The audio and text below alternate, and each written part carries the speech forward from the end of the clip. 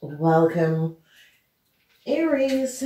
This is the Taurus um, season reading. I want to say thank you for being here. Thank you for being back. It is uh, um, the time of the second house. The Taurus season is the energy of the second house. And the energy of the second house is about your materialistic financial stability. And I see that a lot of you are going to be having issues on the work floor.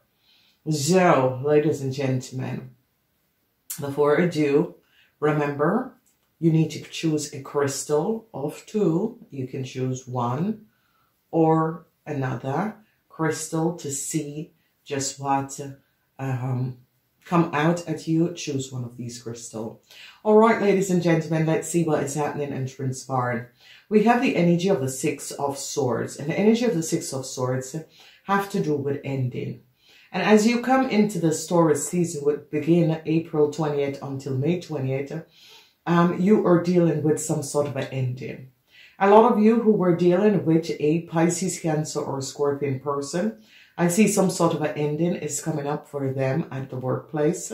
I see that now they're recognizing um, that this person um, skills and knowledge is not fitting um, the um, position that they're in.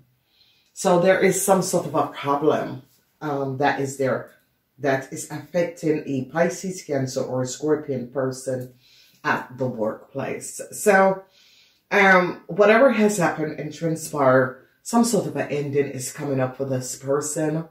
And it could be that some of you have been dealing with this person for quite some time and there has been some sort of an issue that has not been uh, resolved between you and this person. And I see some sort of an ending is going to be coming in. Then when we look in the second week, we see that this person is hoping, um, you know, for a better um, teamwork, okay?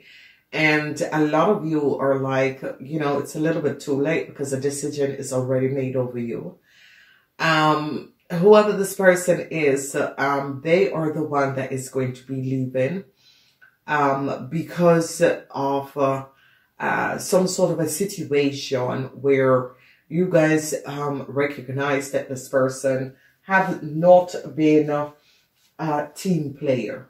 So I see that um, a lot of people have um, decided to um, stand down and let this person go. Okay, so um, this is going to be coming up. When we look at the third week, we have the Eight of Pentacles, and in the third week, it is uh, going to be affecting a lot of you on the work floor. Um, some of you, it could be that you are self-employed, or some of you are freelancers, and I see that this um, is going to be where a lot of you are going to be very, very busy in the third week. In the fourth week, we see some um, uh, missed opportunities for a lot of you. Whatever is happening and transpiring, a lot of you are going to be recognizing that you miss some sort of opportunity that could have taken you far. Um, whatever the reason that you have chosen not to go that direction, um, a lot of you could have a rethink a situation um, and recognize that um, the decision to move forward is not the right thing for you. Okay, so there we are seeing a, that a lot of you, a lot of you are going to be focusing, recognizing, understanding that sometimes it's better to stay put. Now, with this, um, that means it is a um, going to be a, a, a sure situation that a lot of you are going to just remain in where you are. And that is the most um, important thing for you in this Taurus season because it's about um, your finance, it's about your money, and that is where it's going to be. All right, so let's look at this. The Six of Swords, Mercury in Aquarius. Mercury in Aquarius. And the energy of Mercury in Aquarius what we're recognizing is that a whole lot of communication.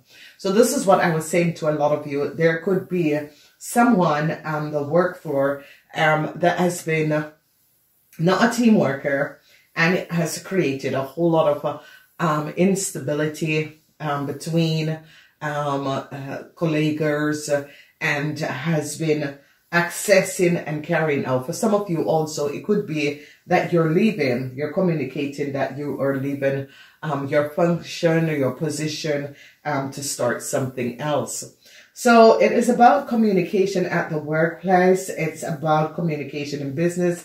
It's about communication and this communication is about you leaving or you're changing position or um, you're communicating um, that you're about to leave.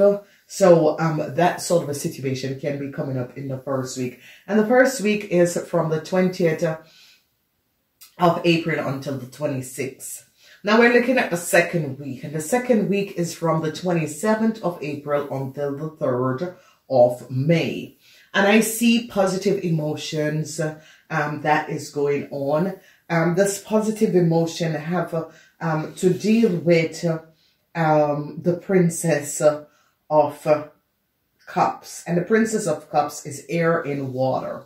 Now, air in water this could be a very talkative person. Whoever this person is, is very talkative, is very um, um, complex, it's a, um, want to create and uh, state um, themselves. And some of you are just not have it. Some of you are like, um, you know, it's good. All talking and not doing anything, that's another situation. So I see that this could be a situation where you recognize that this person is trying um, to get themselves out of something and a whole lot of talking, but um, nothing is coming up. And you are like, you know, it is better for you to be quiet because the more you talk is the more um, that things are not resolving. Okay. It's as if this person is creating some sort of an energy. The more they talk, the more things are not resolving. And I see that some of you are recognizing, um, let it go let it go. It's better for you to just stop talking. A lot of you are going to be emotional balance and that is good.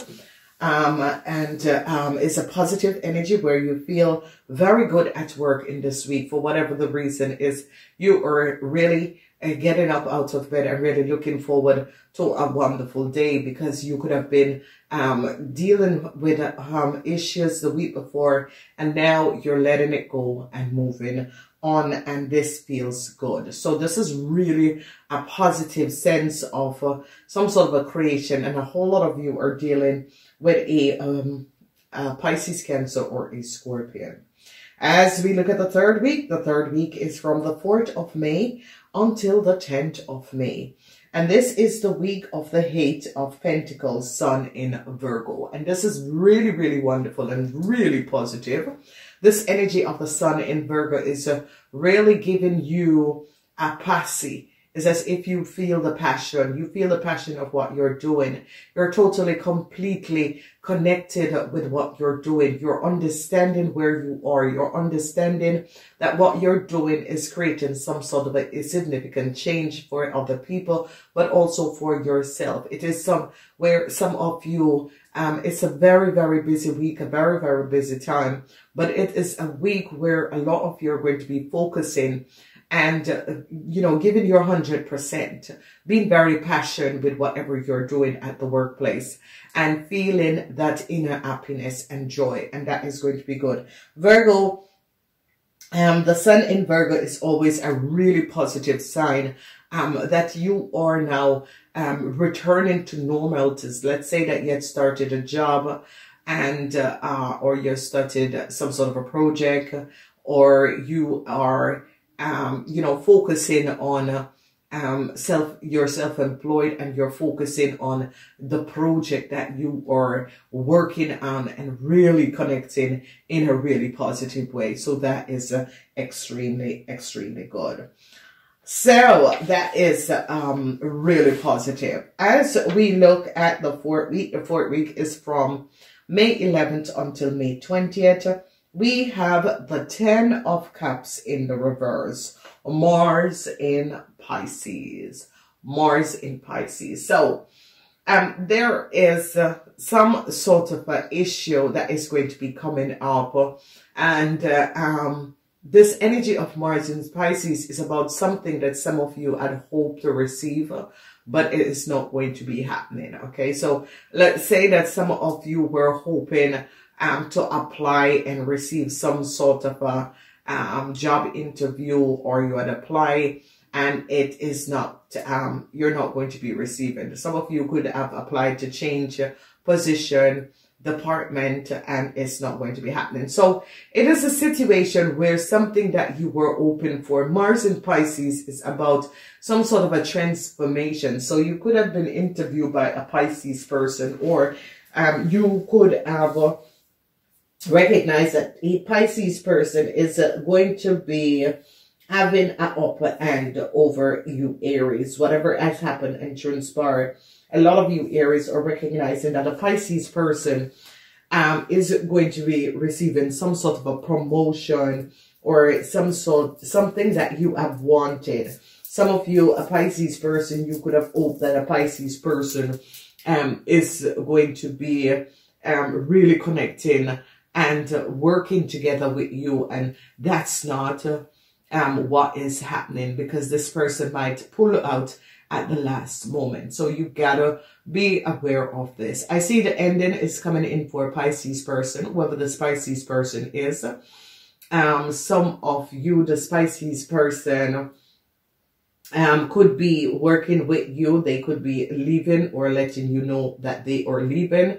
Um, or, you know, whoever the Pisces person is, there is some sort of an issue or problem at work for them. So they could be um, receiving some sort of an ending for them at the workplace. So you gotta be aware of this. But it's going to be a young Pisces, a woman, however this is happening and transpire, it is really going to be a woman. So some sort of an ending um, is going to be coming up but it has nothing to do with you, Aries. It has uh, um, more to do with people. And some of you that was hoping for some sort of a um, promotion or position, um, it's not going to be happening for you, Aries, okay?